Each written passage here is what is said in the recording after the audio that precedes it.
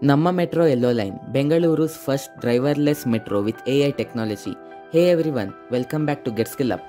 If you are in Bengaluru, you know the struggle of daily traffic. But there's some great news. The much awaited yellow line of Namma Metro is finally getting ready. Quick overview.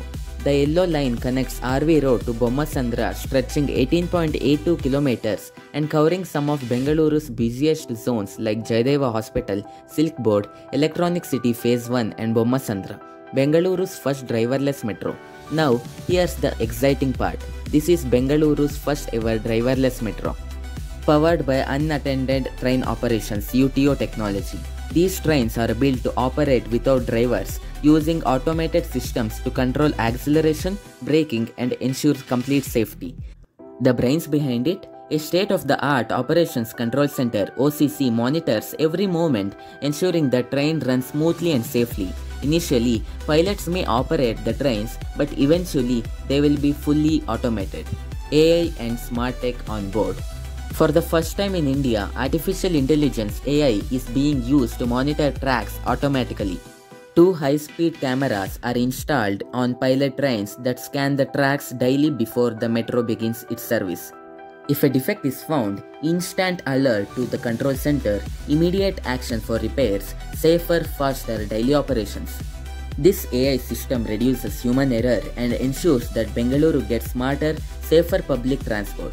Other advanced features. The new metro trains come loaded with modern features.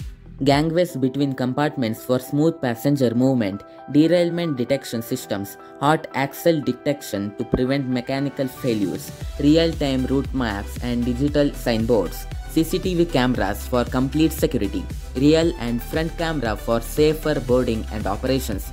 And yes, these trains were manufactured by CRRC China, costing around rupees 7.31 crore per coach, one of the lowest costs in India but with maximum features. When is it starting? Trial runs started. Full operations expected between August and September 2025. Trains every 10 minutes during peak hours. Fare rupees 15 to rupees 85 with options for smart cards, QR tickets and digital payments. Once fully operational, the yellow line will cut down traffic, especially around Silkboard Junction and Hosur Road, and move Bengaluru toward a smarter, greener, faster future.